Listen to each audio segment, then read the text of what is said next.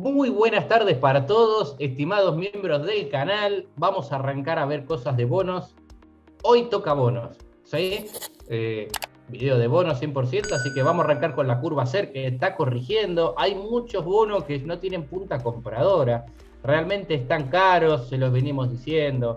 ¿sí? Bono SER rindiendo debajo de cero. El único bono SER que a priori parece tentador tener es el T2X4, ¿sí? contra todo lo demás.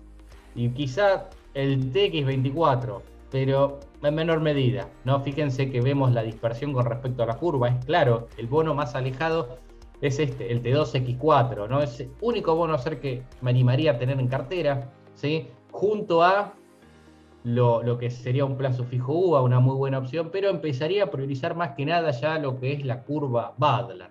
Me parece que la tasa de bono, la tasa Badlar va a tener que acompañar en mayor o menor medida la inflación.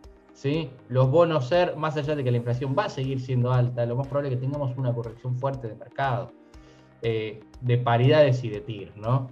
Entonces, con bonos Badlar rindiendo 62,71%, 61 parecen una muy buena alternativa para esos pesos ociosos. Bueno, vamos a ver también que me interesa que, que vean lo que pasa con las letras LESER, las letras que ajustan por inflación. También rinden negativo, ¿sí? Fíjense, esta menos 19%, menos 16%, esto es Inflación menos 19% anualizado, ¿no? Los rendimientos negativos muy fuertes. Ojo los que tienen cuota aparte en fondos comunes de inversión que ajustan por inflación, porque la corrección va a llegar y va a ser muy dura, ¿sí? Sobre todo si los datos de la inflación no son tan altos como el mercado estima. Yo veo una inflación, como digo, desacelerándose un poquito en los próximos meses, entonces ahí es donde veo como gran ganador a los bonos Badla. Por otro lado, vamos a ver un poquito del ratio, que de 30 al 30. Estamos en zona de resistencia, parece una linda oportunidad para pasarse del GD al AL. Y por otro lado, saben que empezamos a ver ¿sí? lo que es AL 41 contra AE 38. ¿sí?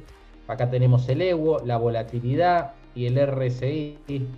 Estamos a priori en una zona bastante interesante como para rotar algún porcentaje de la cartera. ¿sí? Son bonos interesantes del cual estaría bueno empezar a tener algo en cartera pensando en el mediano o largo plazo, debido a el alto cupón que pagan cada uno de ellos. Así que bueno, no tengo mucho más por hoy, cortito y al pie, ¿sí? Eh, seguimos en contacto, nos vemos la semana que viene, saludos y abrazo grande.